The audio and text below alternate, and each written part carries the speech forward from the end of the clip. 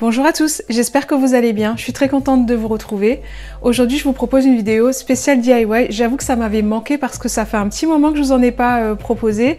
Et du coup, ça va être une vidéo euh, dans la série euh, Je récupère mes déchets pour créer de la déco tendance. Et j'aime beaucoup ce type de vidéo. Et je sais que vous êtes pas mal à aimer aussi ce type de vidéo. Et finalement, nos poubelles regorgent de pépites. Il suffit simplement voilà, de transformer avec pas grand chose. On peut vraiment faire de la superbe déco et tout de suite, j'arrête de parler, je vous laisse avec les tutos en vidéo, je vous retrouve juste après. C'est parti pour le projet numéro 1 et pour cela j'ai recyclé des cartons de scotch ainsi qu'une bobine euh, de dentelle. Je vais commencer par trouver euh, le centre du cercle et ensuite je vais euh, le couper au cutter. Je ponce les extrémités pour que ça soit bien lisse et ensuite je vais prendre le second cercle et à l'aide du pistolet à colle, je vais coller les deux parties ensemble.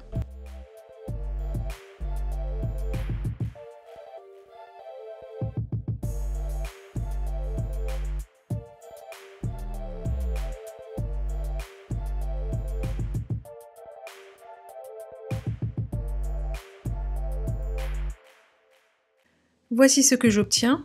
Maintenant, je vais utiliser la bobine euh, et retirer les deux parties qui sont en bois et garder uniquement la partie euh, cartonnée. Je vais poncer pour que ce soit bien lisse et bien droit. Et ensuite, à l'aide de la colle chaude, je vais venir coller euh, cette partie-là sur le cercle principal.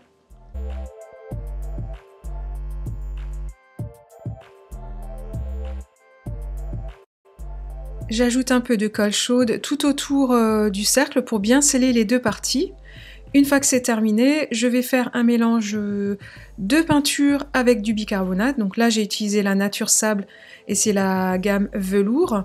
Donc je vais mélanger euh, le bicarbonate. J'ai pas forcément de recette. C'est vraiment selon la texture que vous souhaitez. Moi, j'ai commencé par en mettre un petit peu. J'ai bien mélangé et je me suis rendu compte que le mélange était trop lisse et donc euh, j'en ai rajouté, donc là c'est vraiment à vous de voir. Une fois que mon mélange est terminé, je vais venir l'appliquer donc sur la sculpture. Et donc ce que je trouve qui est vraiment pas mal avec cette peinture là, que j'ai déjà utilisé dans plusieurs DIY, c'est que ça va vraiment masquer euh, les imperfections du carton euh, pour ne plus du tout voir que c'était un morceau de carton à la base. Et je vais donc l'appliquer en deux couches. Et ce DIY est déjà terminé, je vous laisse découvrir le résultat en images.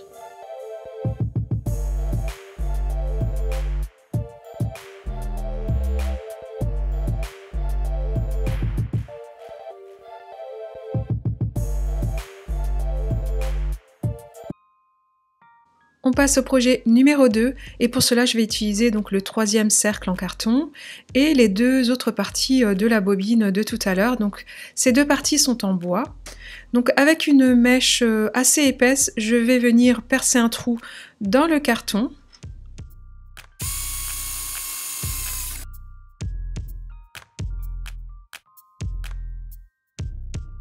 Et ensuite je vais poncer légèrement afin d'avoir euh, une partie bien lisse. Maintenant, je vais enlever l'autocollant qui est sur la partie en bois et ensuite, je vais venir coller donc cette partie en bois avec le petit trou sur euh, le petit trou du carton.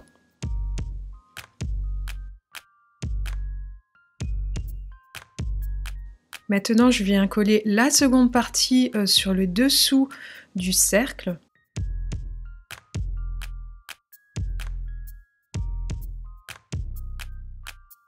Donc une fois que c'est terminé, je passe à la peinture et pour cela je vais utiliser exactement la même peinture que pour le bougeoir euh, précédent.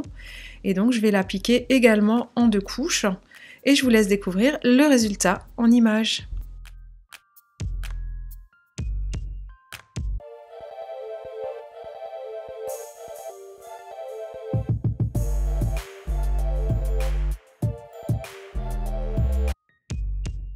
On passe au projet numéro 3 et pour cela je vais donc créer un cache-pot pour mon orchidée et j'ai recyclé une boîte de cacao.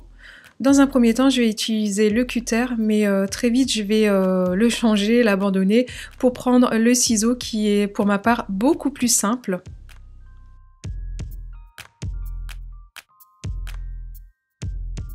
Et j'ajuste jusqu'à ce que j'ai la hauteur souhaitée.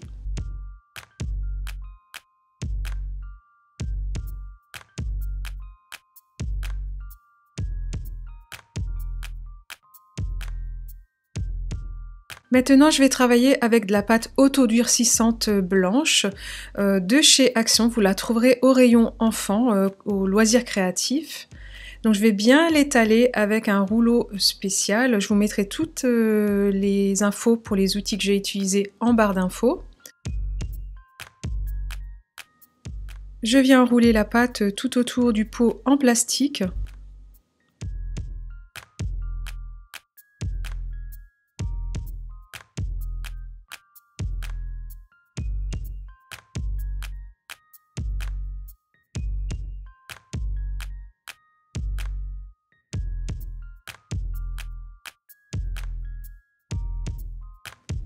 Et avec une éponge humide, euh, je viens donc euh, bien humidifier euh, la zone et je vais venir la travailler au doigt. C'est vraiment l'eau qui va faire que vous puissiez bien lisser la pâte.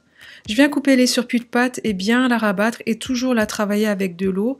Et pareil pour le dessus du pot parce que je veux une jolie finition, je veux pas qu'on voie le plastique. Du coup, je vais bien lisser avec de l'eau également. J'ai également recouvert toute la partie du bas et maintenant je vais laisser sécher pendant 24 heures. Après les 24 heures de séchage, voici ce que j'obtiens. Donc il y a des petites fissures, mais rien de grave. Donc je vais prendre de l'eau et prendre de la pâte et venir euh, combler ces petites fissures. C'est vraiment aussi simple que ça. Et je laisse à nouveau sécher 24 heures. Une fois que c'est sec, je viens utiliser mon mélange de peinture et bicarbonate et je viens l'appliquer donc en deux couches sur tout le pot et je laisse bien sécher. Je vous laisse découvrir le résultat en images.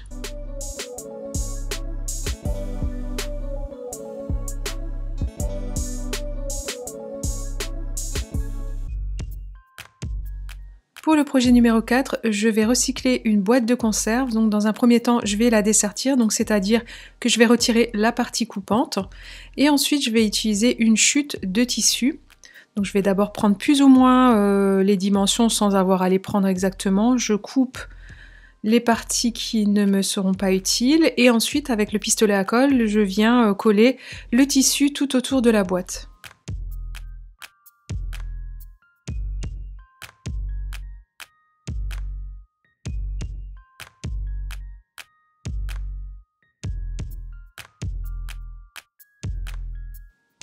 Afin d'avoir une jolie finition, je vais créer un petit tourlet et ensuite je vais coller toujours avec le pistolet à colle tout le long. Et puis je vais également euh, coller l'intérieur, donc rabattre un peu le tissu pour ne pas qu'on distingue trop la boîte de conserve.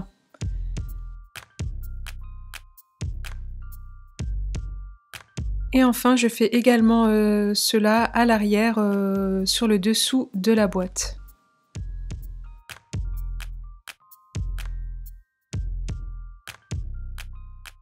Et j'ai décidé de créer une jolie finition avec un carton. Donc je vais prendre le gabarit euh, de la boîte, tracer et couper mon cercle que je vais coller avec euh, de la colle chaude.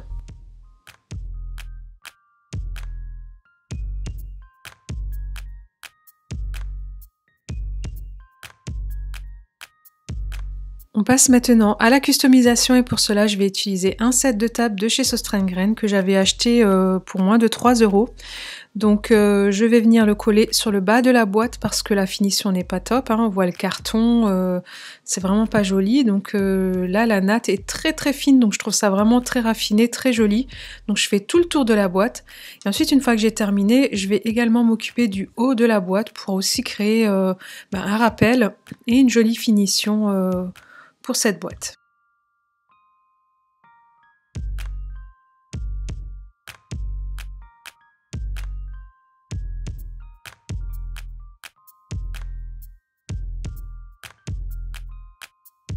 Et j'ai déjà terminé pour la customisation de cette petite boîte qui va me servir de range télécommande. Elles ne traîneront plus sur la table mais seront rangées à l'intérieur. Je vous laisse découvrir le résultat en images.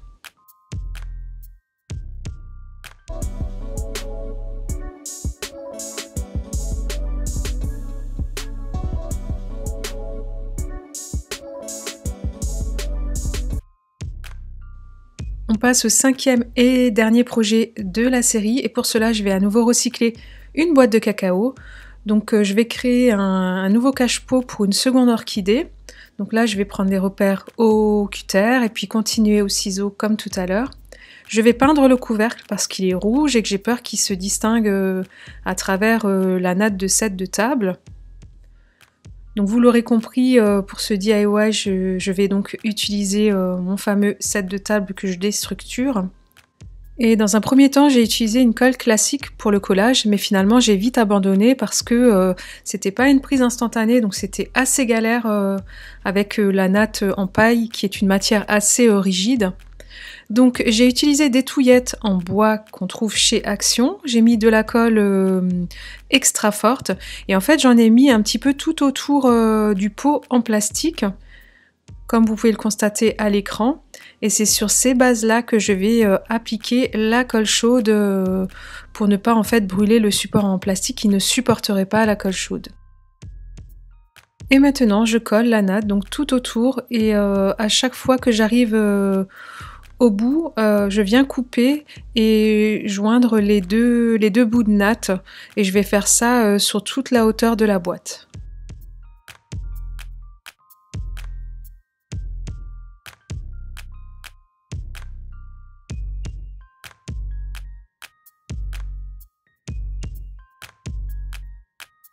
Volontairement, je vais dépasser un petit peu euh, le, du plastique pour ne pas qu'on le distingue de trop.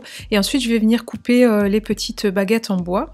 Là, je vais créer deux petites poignées, donc toujours avec euh, le set de table, donc une petite chute. Et donc, je vais me servir de la colle chaude pour pouvoir assembler ces petites poignées de part et d'autre. Et voilà, mon petit cache-pot est terminé. Je vous laisse découvrir le résultat et n'hésitez pas à me dire en commentaire ce que vous en pensez.